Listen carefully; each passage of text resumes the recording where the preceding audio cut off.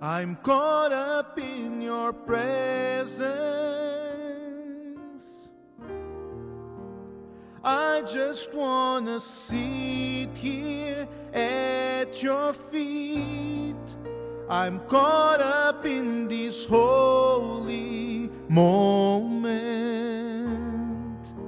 I never want to leave. Oh, I'm not here for blessings. Jesus, you don't owe me anything more than anything that you can do. I just want you.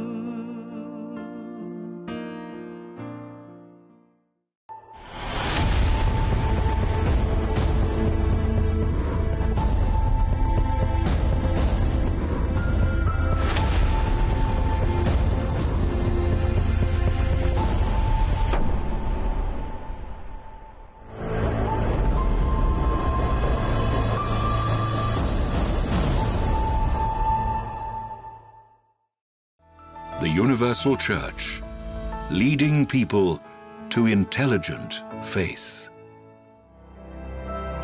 Do you know who Jesus is?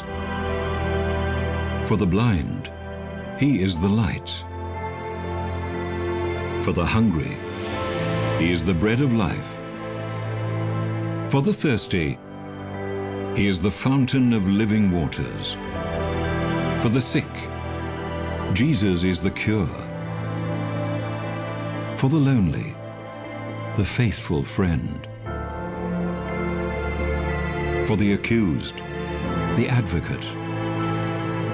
For the lost, the Savior. For those making random decisions, Jesus is the way. For the deceitful, the truth. For the dead, He is life. And I want to welcome all of you to our Let There Be Light program today, Thursday. And well, the number that you see there is our helpline number. If it's your first time here with us, I want to explain to you how you can use that number.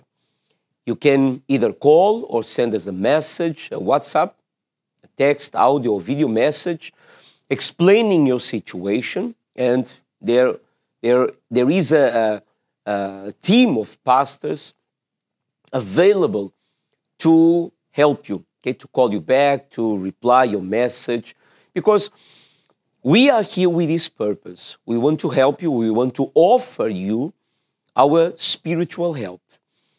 There are situations that we understand it's beyond what a doctor, a lawyer, um, a specialist uh, can do for you, even your family, even your friends.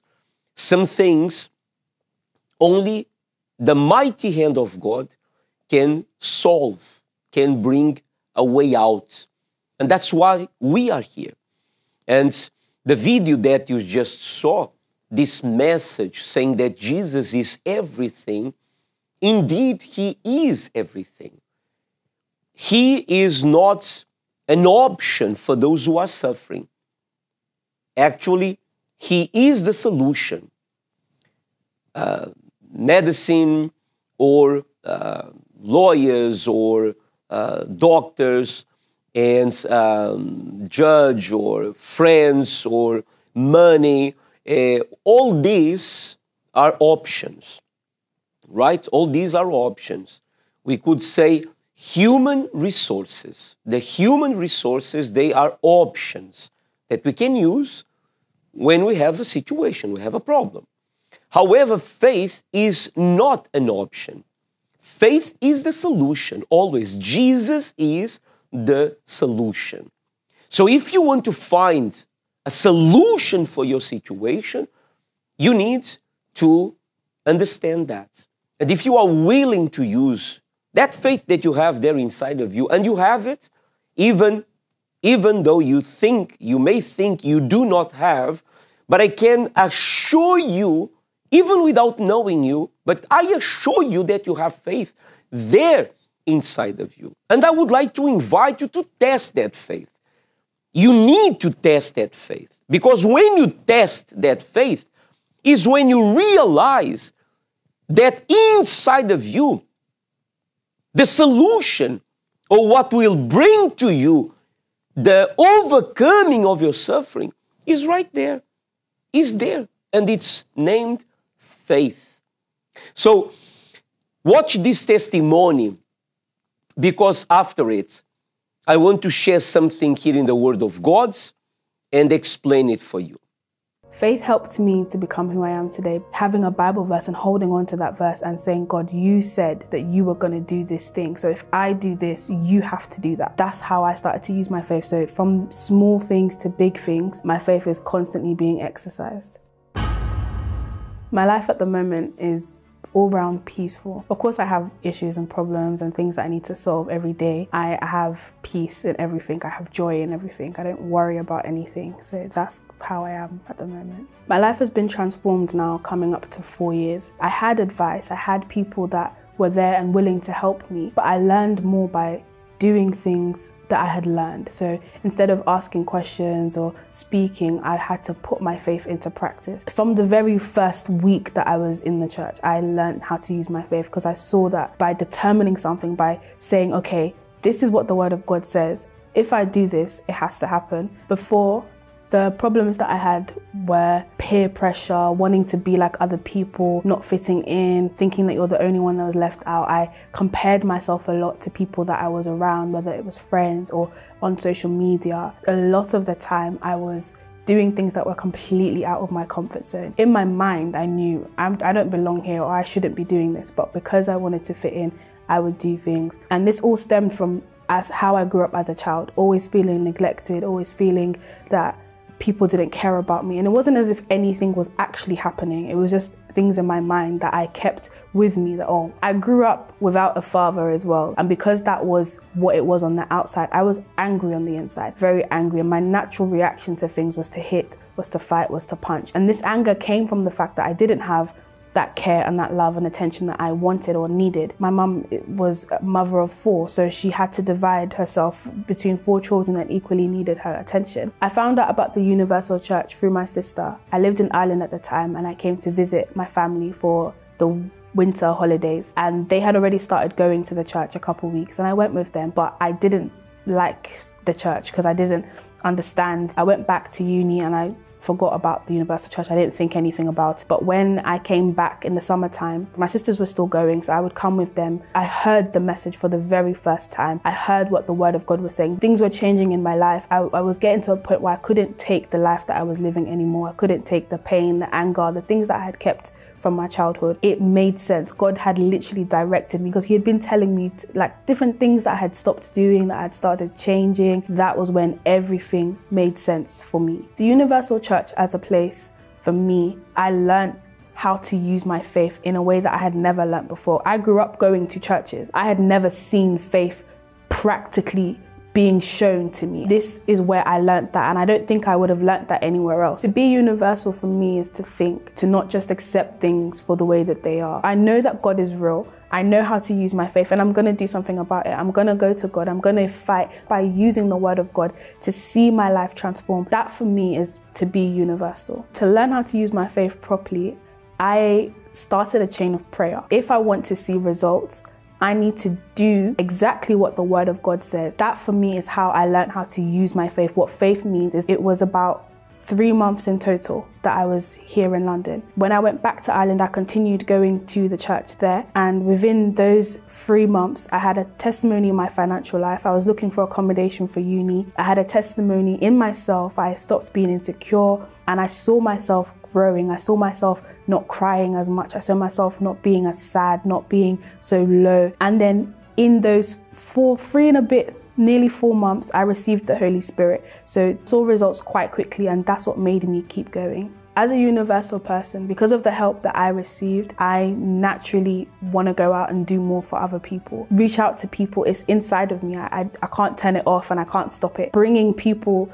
that love that God has for them because that's the love that I was searching for. And this is my daily life as a universal person. I didn't do this before because I didn't know God for myself. But now, coming and experiencing it for myself, I want to give it to other people. I want to bring other people to know God and to have the joy that I have being here with God because I know who I am before God and I see myself now as someone that's joyful, someone that loves to have fun, someone that is peaceful in the presence of God. I may have bad days, I may have days where I'm not feeling so great, but it doesn't take away the peace that I have, it doesn't take away the joy that I have. Through my faith, I've conquered many different things from little testimonies in financial areas of my life. I've used my faith in terms of coming out of uni and going straight into a really good job. I have conquered through my faith a peace that I didn't know that I could have before. And I've received the Holy Spirit by faith as well. I could never regret to become part of the Universal Church. It's not just about the building, but it's the people, it's what you learn, it's how you experience God in a way that you've never experienced God before. It's probably the best decision I've ever made.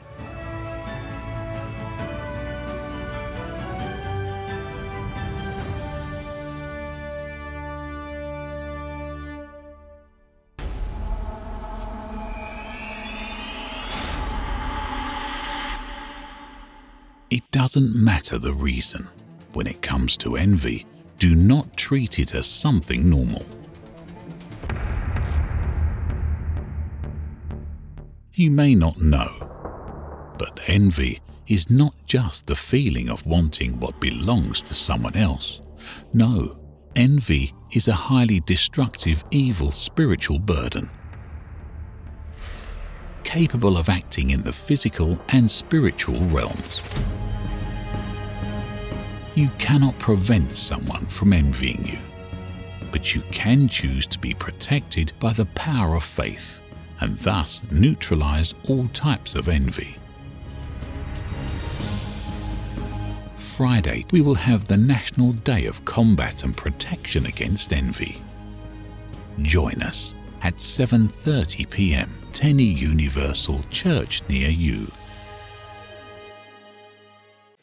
I hope that you understood by the testimony of this person that God, again, He is not an option, but He is the solution. You can try anything, you can try many things, but the only one that will bring to you a permanently solution will be will be God. And we we spoke on our yesterday program about this verse here in Luke chapter 10, verse 17, when it says that the 70 disciples of the Lord Jesus returned with joy, saying, Lord, even the demons are subject to us in your name. It was not their human power who would subject demons to them. And they knew that, they understood that. That's why they said, In your name. And you may think, but Bishop, that was, that was the disciples. How can I uh, even believe that the same can happen to me or I can do that nowadays? Well, do you believe in the words of Jesus? You do.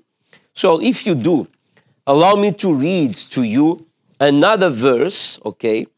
Another verse when the Lord Jesus said this.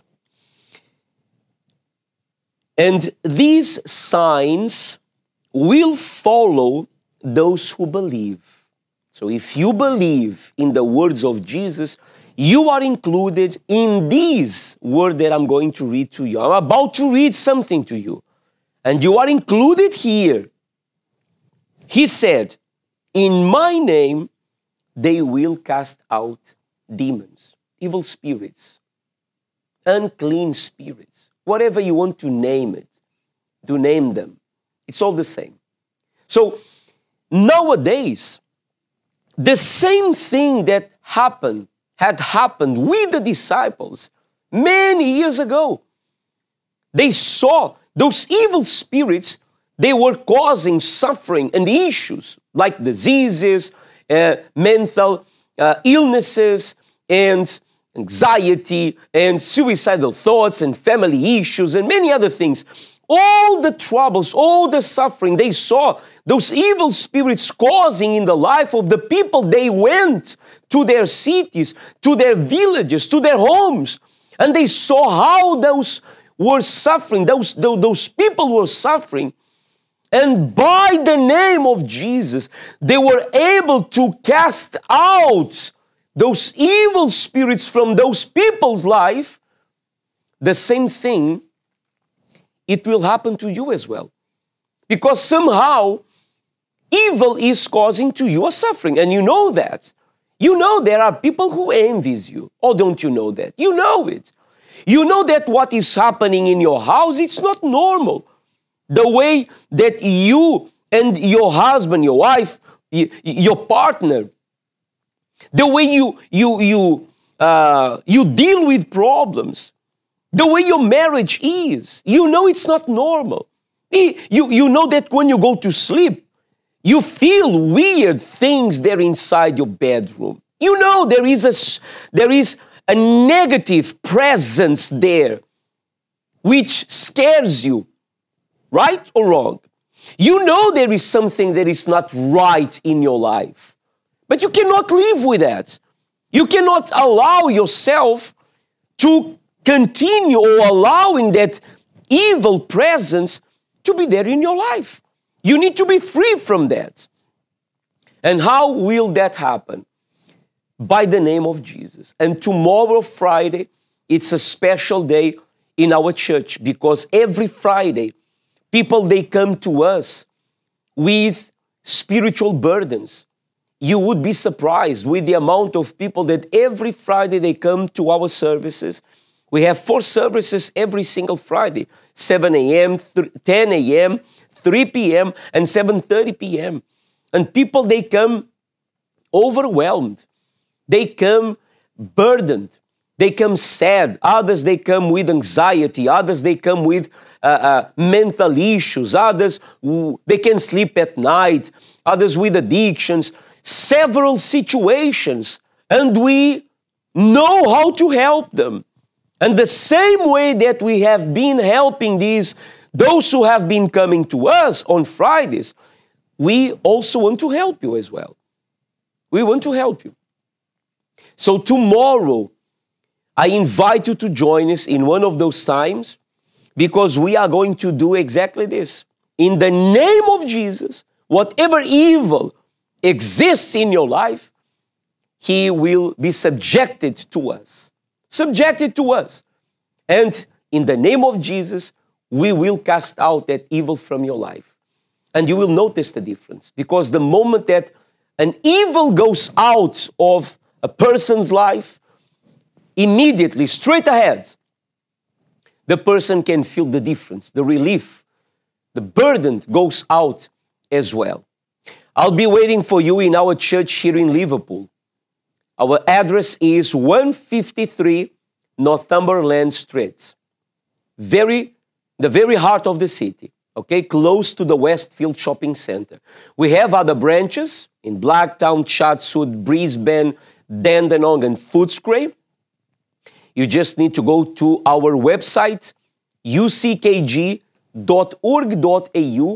and there you will find the addresses to all, all our locations. It's very easy for you to do that.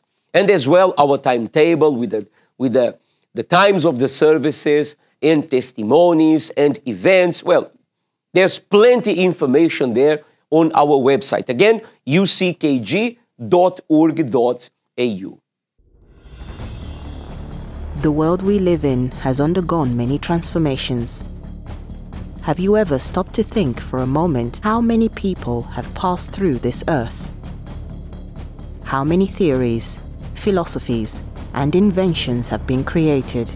The truth is that everything that exists today will disappear tomorrow into the sea of oblivion there is only one thing that is resistant to time and can never be destroyed the Word of God.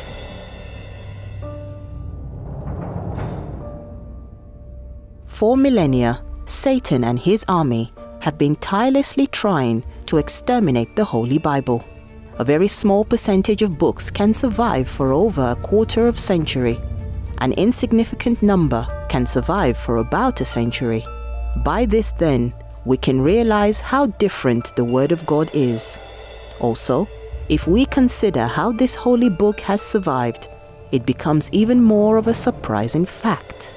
Kings, emperors, notable people have all invested their power to exterminate the Bible and those who believe in it.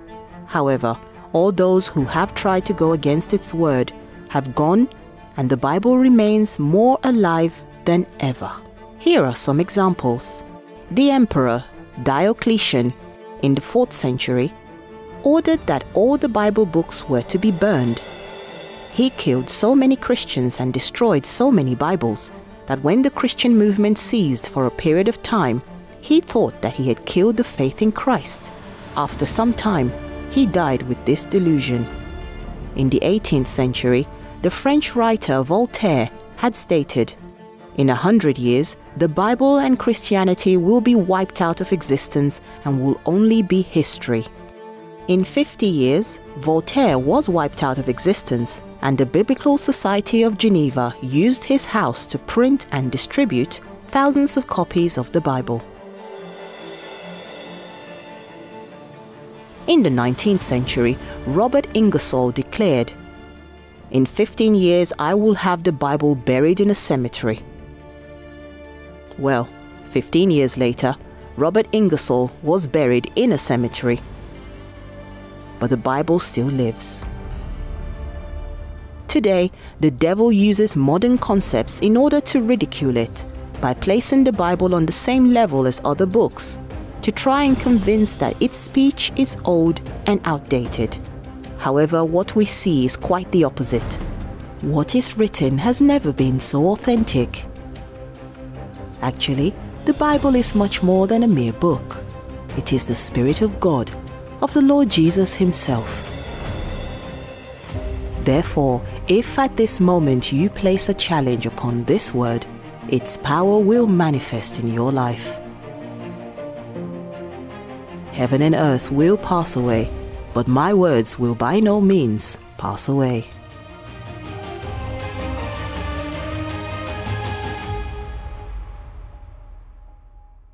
Univer Video, a road content of faith at the palm of your hand.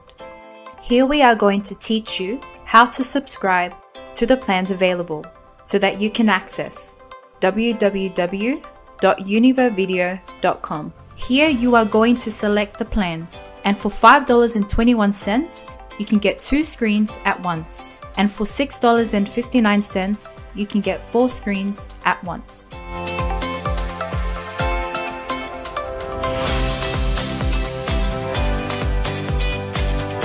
Now you press subscribe. Insert now your location, followed by your phone number.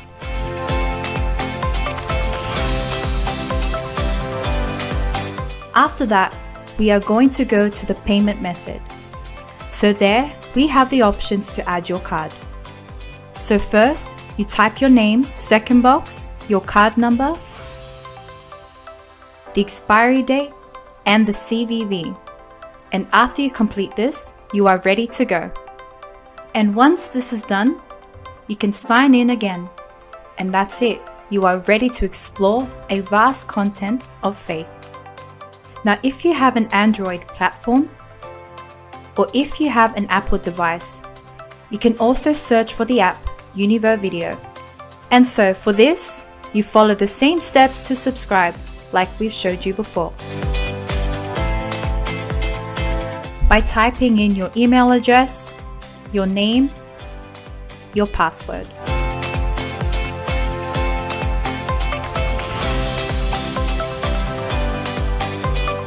Your card details, and that's it. You are ready, set to go. And watch this great content that's going to build your faith. Enjoy. Before we end our program, I have a very special good news to all of you. good news to all of you. If you recall, we had at the beginning of September, the first Sunday of September, we gave the blessed oil to everyone for free in all our branches here in Australia. Well, the, on the 13th of this month of October, the 13th, next Sunday, not this one, the next one, the 13th of October, 9.30 and 7.30 a.m. in all our branches, we will refill the small bottle that you have received on that day, on the 8th of September, we are going to refill your bottle with oil with more blessed oil because we have left over a, uh, a, uh, a uh, quantity of oil and we are inviting everyone who came on that day to return. Bring your small bottle with oil that you have received on the day so we may refill it okay? In that so you can have more blessed oil and keep using it according to your faith according to your needs. So don't miss 13th of october it's going to be a special sunday just for that and of course the sunday of the family the blessing of the families the blessing of all families because we have the testimony in the Word of God right at the beginning of the creation that Adam and Eve, while they were living close to the tree of life, there in the, in the Eden garden, there was amongst all the trees there, there was one, there were one, which was very special, unique. it was unique. It was called the tree of life. While they were there, their life was wonderful. They had no arguments with each other. There was no uh, illnesses, no uh, mental problems. Uh, there, was, there was peace. They were okay. They were perfect. They had a perfect life, the perfect marriage.